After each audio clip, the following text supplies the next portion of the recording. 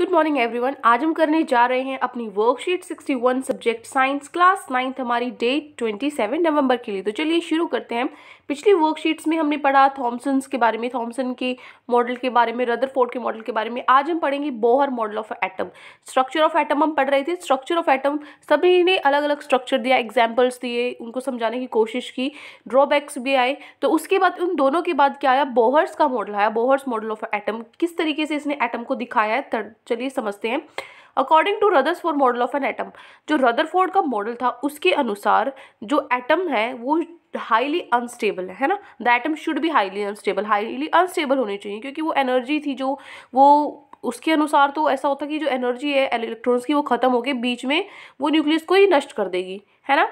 तो how the stable existence of an atom is possible at explain लेकिन फिर भी हमें तो ये पता है कि एटम तो स्टेबल होता है, तभी तो सारी चीज़ें एग्जिस्ट कर रही हैं। तो इस चीज़ को कैसे एक्सप्लेन किया है? देखो, हमने सीखा we learn that Rutherford model of an atom have some drawbacks कुछ उसके ड्रॉबैक्स थी, कुछ कमियाँ रह गई थी उसके मॉडल में, जैसे the revolution of the electron in circular orbit is not expected to be stable कि जो रेवोल्यूशन है इलेक्ट्रॉन का, जो इलेक्ट्रॉन चारों तरफ़ घूम रहे हैं सर्कुलर ऑर्बिट में, वो स्टेबल नहीं होने चाहिए।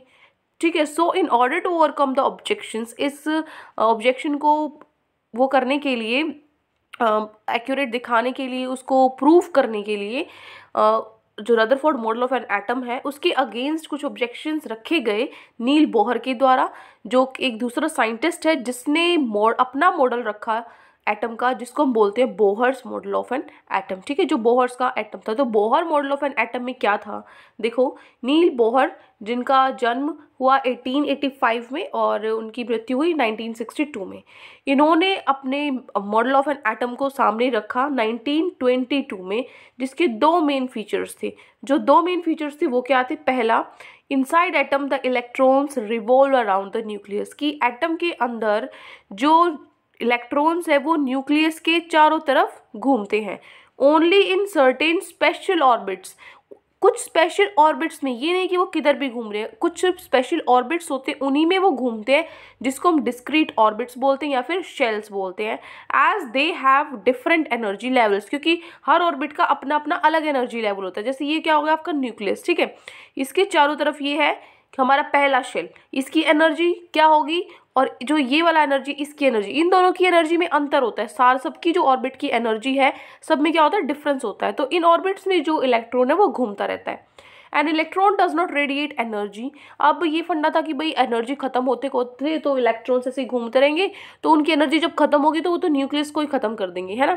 तो इस चीज़ को उसने कैसे एक्सप्लेन किया कि जो इलेक्ट्रॉन है वो रेडी एनर्जी रेडिएट नहीं करता during their revolution in this discrete orbits energy shells around nucleus electron की कोई एनर्जी नहीं लगती जब वो इस, जो ऑर्बिट्स हैं, उन पर घूमता है, ठीक है? उसकी एनर्जी कब लगती है? It can only jump from one orbit to another by losing और gaining only a fixed amount of energy जब वो ऑर्बिट देता है, जैसे इसको एक ऑर्बिट से दूसरे ऑर्बिट में वो जंप करता है तो वो गेन करता है, ठीक है? या फिर गेन करता है, फिर लॉस करता है कुछ अमाउंट ऑफ़ एनर्जी जो फिक्स होती है हर एक ऑर्बिट के लिए, ठीक है? एक अमाउंट फिक्स होता है कि यहाँ से इस ऑर्बिट से जाने के लिए इस ऑर्बिट में इतनी एनर्जी चाहिए, ठीक है? वो फिक्स होता है। तो he named these orbits shells उसने इन ऑर्बिट्स का नाम दिया एनर्जी लेवल्स उनको बोला गया के एल एम एन आगे भी है ओ पी क्यू भी कर सकते हैं आप के एल एम एन ठीक है, ये ऑर्बिट्स का उसने नाम दिया, जो के है, वो है पहला ऑर्बिट एल दूसरा ऑर्बिट एम तीसरा ऑर्बिट और एन चौथा ऑर्बिट इसी तरीके से आगे से।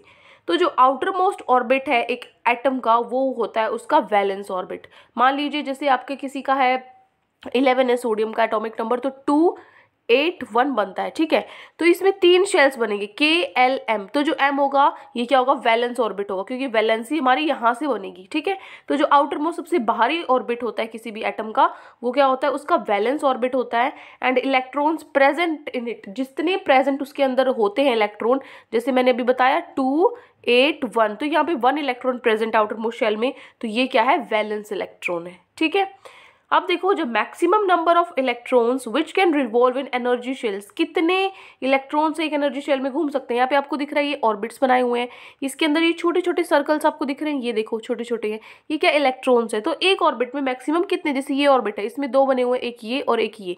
तो एक ऑर्बिट में मैक्सिमम कितने इलेक्ट्रॉन्स घूम सकते हैं एनर्जी शेल में कितने इलेक्ट्रॉन घूम सकते हैं, वो क्या होता है फिक्स होता है। And given by the formula और फिक्स होता है, वो एक फॉर्मूले से हम निकाल सकते हैं कि भाई पहले ऑर्बिट में कितने आ सकते हैं, दूसरे ऑर्बिट में कितने इलेक्ट्रॉन्स घूम सकते हैं। तो उसके लिए फॉर्मूला है टू एन स्क्वायर एन क्या है आपका ऑर्बिट पहले ऑर्बिट में अगर आपको चेक करना है तो एन की वैल्यू क्या रखो? वन रखो। टू वन का स्क्वायर क्या हो गया? टू वन ज़ा टू ही होता है। ये देखो। तो के शेल में टू इलेक्ट्रॉन्स आ सकते हैं। इसी तरीके से एल शेल में काउंट करेंगे। टू एन स्क्वायर है। एल शेल दूसरा है तो एन की जगह टू रखेंगे, ऊपर स्क्वायर है। तो टू मल्टीप्लाई टू का स्क्वायर क्या होता है? फोर ठीक है तो ये हो गया एट तो जो आपका एल शेल है, उसमें मैक्सिमम एट हो सकते हैं। इसी तरीके से एम में निकालेंगे एटीन हो सकते हैं ज़्यादातर इलेक्ट्रॉन्स ठीक है? Maximum number of electron that can be accommodated in outermost orbit is eight जो आउटर मोस्ट सबसे बाहरी वाला जो इलेक्ट्रो वो होता है आपका ऑर्बिट होता है, उसमें मैक्सिमम एट ही आ सकते हैं आपके इलेक्ट्रॉन्स ये ऑक्टेट रूल जिसको हम बोलते हैं, ठीक है? ऑक्टेट रूल क्या है कि जो इलेक्ट्रॉन है, जो आउटर मोस्ट शेल में आ सकते हैं आउटर मोस्ट ऑर्बिट में आ सकते हैं, वो सिर्फ़ एट ही हो सकते हैं, ठीक है? ये एटीन थर्टी टू ये नहीं होंगे, सबसे बाहर वाले में एट ही होंगे, ये ऑक्टेट रूल होता है, ठीक है? अब देखो, उसके बाद है न्यूट्रॉन हमने पिछली वर्कशीट्स में कवर किया, पहले हमने इलेक्ट्रॉन को कवर किया, फिर हमने प्रोटॉन को कवर किया। आज हम किसको कवर करेंगे? न्यूट्रॉन को। ठीक है? न्यूट्रॉन भी, जैसे मैंने आपको तीन सब अटोमिक पार्टिकल्स बताए थे एटम के, कौन से कौन से? Electron proton neutron. तो न्यूट्रॉन भी क्या है? एक सब अटोमिक पार्टिकल है, जिसको न्यूट्रॉन बोलते हैं। न्यूट्रॉन किसने डिस्कवर किया था? जे चैडविक ने। ये आपको ध्यान रखना है और फटाफट से मुझे कमेंट्स में बताओगे कि किसने जो इलेक्ट्रॉन है और जो प्रोटोन है डिस्कवर किए थे। इलेक्ट्रॉन प्रोटोन दोनों लिख के बताओगे, ठीक है? और न्यूट्रॉन किसने किया है? जे चैडविक तीनों ही लिख देना। इलेक्ट्रॉन प्रोटोन न्यूट्रॉन किसने इनको डिस्कवर किया है? ये कमेंट्स में मुझे ज़रूर बताना है सब बच्चों को। जितने व्यूज़ होंगे ना एटलीस्ट उसके हाफ़ कमेंट्स मेरे पास आने चाहिए कि पता लगेगा कि कितने बच्चे पढ़ते हैं या सिर्फ़ आंसर्स को कॉपी करते हैं, ठीक है? तो देखो, जो न्यूट्रॉन है वो डिस्कवर किया, कौन से साइंटिस्ट ने? जे चैडविक ने कब? 1932 में। जो न्यूट्रॉन है उसका कोई चार्ज नहीं होता, जैसे इलेक्ट्रॉन है वो नेगेटिव चार्ज होता है ना उस पर माइनस का चार्ज होता है। जो प्रोटोन होता है, उस पर पॉजिटिव का चार्ज होता है, प्लस का साइन होता है। लेकिन जो न्यूट्रॉन है, उसके पास कोई चार्ज नहीं होता, ठीक है? जो उसका मास होता है, वो प्रोटोन के मास जितना ही होता है। Same as mass of proton mass तो उसका प्रोटोन जितना ही होता है, लेकिन चार्ज नहीं होता इस पर प्रोटोन की तरह। न्यूट्रॉन को हम दिखाते हैं एन से, इलेक्ट्रॉन को दिखाते हैं ई e से प्रोटॉन को दिखाते हैं पी से और न्यूट्रॉन को हम दिखाएँगे एन से, ठीक है? अब न्यूट्रॉन होता कहाँ है? तो बोर के according he said that neutron are present in nucleus Bohr के अकॉर्डिंग जो न्यूट्रॉन है वो न्यूक्लियस के अंदर होते हैं अलोंग विद प्रोटोन्स प्रोटोन्स के साथ साथ तो न्यूक्लियस में क्या क्या होता है? प्रोटोन्स और न्यू और क्या होता है? न्यूट्रॉन्स होते हैं, ठीक है? Thus most of the mass of an atom is concentrated inside nucleus इसीलिए हमने पिछली वर्कशीट में देखा था कि मैंने बोला था, आपको जो ज़्यादातर मास होता है, भार होता है, जो पूरे एटम का, वो न्यूक्लियस के अंदर होता है। वो इसी कारण होता है क्योंकि उसमें प्रोटोन और न्यूट्रॉन दोनों न्यूक्लियस के अंदर होते हैं। तो मोस्टली जो वेट है, आपका मोस्टली जो मास है, वो सारा न्यूक्लियस के अंदर होता है because electrons mass is negligible क्योंकि जो इलेक्ट्रॉन है, उनका मास तो ना के बराबर होता है, ठीक है? तो जो मास होता है, वो प्रोटोन और न्यूट्रॉन का ही है, जो कि न्यूक्लियस के अंदर होता है। इसीलिए न्यूक्लियस का ज़्यादा भार होता है, ज़्यादा मास होता है, ठीक है? अब देखो, यहाँ पे आपको स्ट्रक्चर्स दिखाए हुए स्ट्रक्चर ऑफ़ सोडियम एटम ये अभी मैंने आपको बताया था टू एट वन तो पहले में दो हैं, ठीक है, ध्यान से देखोगे दो आपके सर्कल्स मिलेंगे, बाहर आपके एट सर्कल्स है और उससे बाहर आपके एक है आउटर मोस्ट शेल में, ठीक है हाइड्रोजन एटम बनाएँगे तो ये प्रोटोन है आपका, एक ही इलेक्ट्रॉन होता है हाइड्रोजन एटम का क्या होता है वन होता है एटॉमिक नंबर तो वन ही हमने बनाया है, ठीक है अब देखो, हमारे क्वेश्चंस पे आते हैं। फाइव क्वेश्चंस हमारे गिवन आज की वर्कशीट में तो फटाफट से इनको कवर कर लेते हैं। फ़र्स्ट क्वेश्चन है हमारा state two main postulates of Niels Bohr's model of an atom जो Niels Bohr's of model atom है, उसके दो पोस्टुलेट्स आपको बताने हैं। तो लिखोगे two main Bohr's postulate are जो दो उसके मेन पोस्टुलेट्स उसने दिए थे, वो हैं। फ़र्स्ट इनसाइड एटम एटम के अंदर the electrons revolve around the nucleus जो इलेक्ट्रॉन्स हैं, वो घूमते हैं किसके अराउंड न्यूक्लियस के चारों तरफ़, ठीक है? Only in certain special orbits उन स्पेशल ऑर्बिट्स होते हैं, सब इलेक्ट्रॉन्स के अपने अपने उन्हीं के अंदर घूमते हैं जिन ऑर्बिट्स को हम बोलते हैं डिस्क्रीट ऑर्बिट्स या फिर shells as they have special orbits को क्या बोलते हैं हम? डिस्क्रीट ऑर्बिट्स या फिर शेल्स क्योंकि उनका क्या होता है? अलग अलग डिफरेंट एनर्जी लेवल होता है तो उसके अकॉर्डिंग वो अपने अपने ऑर्बिट्स में होते हैं, ठीक है? दूसरा पॉइंट है an electron does not radiate energy जो इलेक्ट्रॉन है, वो एनर्जी रेडिएट नहीं करता एनर्जी रिलीज़ नहीं करता during revolution in this discrete orbits जब वो इन डिस्क्रीट ऑर्बिट्स में घूमता है और घूमने के दौरान वो कोई एनर्जी रिलीज़ नहीं करता, जो एनर्जी शेल्स है अराउंड न्यूक्लियस न्यूक्लियस के अराउंड तो it can only jump from one orbit to another ये एक ऑर्बिट से दूसरे ऑर्बिट में जंप कर सकता है बाई लूजिंग और gaining only a fixed amount of energy सिर्फ़ जो एनर्जी है फिक्स अमाउंट ऑफ़ एनर्जी होता है, जो वो गेन कर सकता है या लूज कर सकता है। ठीक है? ये हो गया आपका this is your question number one अब आते हैं हमारे क्वेश्चन नंबर टू पे। तो क्वेश्चन नंबर टू क्या है? How did Bohr's model of an atom overcome the drawback in the Rutherford model of an atom जो बोहर का मॉडल है, वो उसने कैसे जो रदरफोर्ड की कमियाँ थी, जो उसके ड्रॉबैक्स थे, उनको ओवरकम किया। ठीक है? तो देखो, जो Bohr's model of an atom है, उसने ओवरकम किया drawback in the Rutherford model of an atom by explaining the stability of atom उसने क्या एक्सप्लेन कर दिया? जो एटम है वो कैसे स्टेबल है? इस तरीके से उसने ओवरकम किया। बोहर ने एक्सप्लेन किया। Explain the revolution of the electron in circular orbit by proposing that उसने जो रेवोल्यूशन जो इलेक्ट्रॉन्स घूम रहे हैं सर्कुलर ऑर्बिट में, उसको एक्सप्लेन किया बाय प्रपोजिंग ये मानकर कि जो इलेक्ट्रॉन्स है वो फिक्स्ड साइज़ है और फिक्स उनका energy move in orbits of fix size and energy the energy of an electron depends on the size of the orbit and is lower for smaller orbits जो छोटे orbits होते हैं, उनके लिए कम होता है.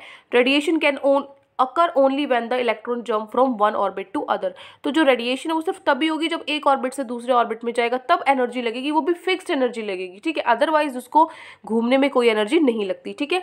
तो ये हो गया question number two now next question is question number three है हमारा. This is question two question three है. Draw a diagram Bohr's model of an atom showing four energy shells आपको डायग्राम बनाना है एनर्जी शेल्स दिखाने हैं Bohr's के. तो ये डायग्राम आपको बनाना है, ठीक है? ये डायग्राम आपको बनाना है अपने आंसर नंबर थ्री में. ये हो गया आपका न्यूक्लियस ये हो गया आपका K shell L M N shell हो गई कितने हैं नंबर इनका? ये फ़र्स्ट शेल है. ये सेकेंड यहाँ पे एन की जगह थ्री लिखा हो बेटा, इसको टू कर लेना, ठीक है? First shell second shell third shell और फोर्थ शेल ये चार शेल्स आपके होंगे, ठीक है? तो ये हो गया Bohr's model of an atom का, जिसमें एनर्जी जो लेवल्स हैं वो शो किए हुए हैं, ठीक है? तो this is your question number third question number fourth is what are neutrons where are they located जो न्यूट्रॉन्स हैं वो क्या होते हैं और ये कहाँ पर होते हैं? तो लिखोगे अ न्यूट्रॉन इज़ अ सब अटोमिक पार्टिकल जो न्यूट्रॉन है, वो एक सब अटोमिक पार्टिकल होता है विच हैज़ नो चार्ज जिसका कोई चार्ज नहीं होता and its mass is nearly same as that of proton और जो मास है इसका, वो प्रोटोन जितना ही होता है, ठीक है? न्यूट्रॉन है, उसको हम से रिप्रेजेंट करते हैं। कहाँ होते हैं ये? Neutrons are present in nucleus along with protons ये प्रोटोन्स के साथ न्यूक्लियस के अंदर ही होते हैं। This is your question number four now last question question number five what is valence orbit और शेल एंड वैलेंस इलेक्ट्रॉन्स क्या होते हैं वैलेंस ऑर्बिट शेल और वैलेंस इलेक्ट्रॉन्स जो आउटर मोस्ट ऑर्बिट है एक एटम में, वो होता है वैलेंस ऑर्बिट और इलेक्ट्रॉन्स जो होते हैं इसके अंदर, वो होते हैं वैलेंस इलेक्ट्रॉन ठीक है? तो this is your question number five तो ये फाइव क्वेश्चन आज आपकी वर्कशीट में गिवन थे. आई होप अच्छे से आपको पाँचों क्वेश्चन समझ में आ गए हैं। कोई भी डाउट है पूरी वर्कशीट में तो कमेंट सेक्शन में आप मुझे बता सकते हैं। और अगर आपको हमारी वीडियो अच्छी लगे तो हमारे चैनल को सब्सक्राइब भी कर सकते हैं। Thank you and have a great day